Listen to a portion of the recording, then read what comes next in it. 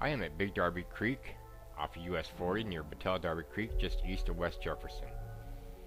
We'll explain a little bit about some of the habitats here uh, in the creek. I actually monitor this for the Ohio Department of Natural Resources in their stream quality monitoring program. So I get to see a lot of what's really going on in this water here. This creek is actually very healthy. Um, I find such things as hellgrammites, crayfish, caddisfly, water pennies, stoneflies, a little bit of everything in here. Um, the substrate contains such things as sand, silt, rock, cobblestone, rocks. Different organisms live in different parts of the creek.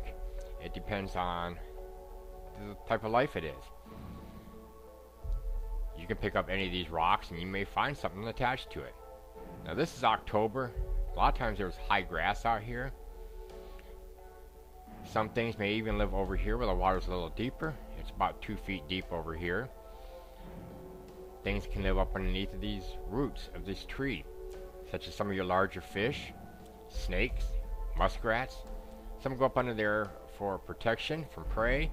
They they can go up under some of the uh, the cover from branches and so forth uh, to get into the shade, protection from the sun, the heat.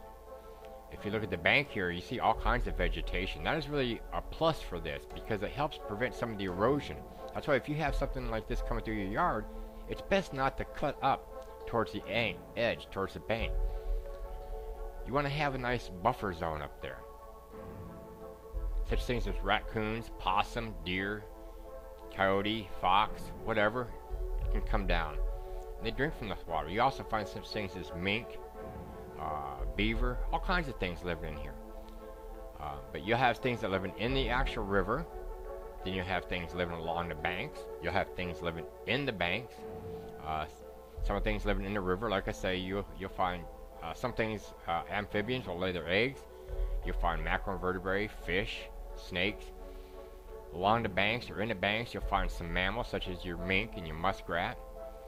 Uh, you also find snakes along the banks, sometimes living up underneath the, the overhangs, such as these, these uh, branches right here.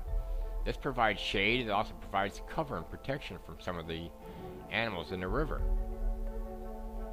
Now right here the water is about a foot deep. It's moving a little bit faster than it was over in the uh, first riffles that we were at.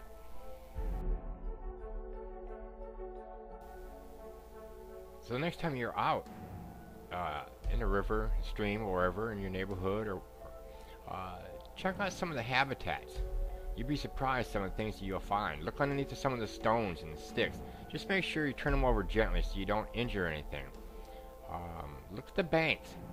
Are the banks really, uh, are they washed out? A lot of erosion? Uh, holes and overhangs? Those are things that you want to keep because they are they're great habitat homes for some of the wildlife. If you'd like to see one of my recent monitoring sessions, I'll put the link in the description box below so you can see some of the things I do.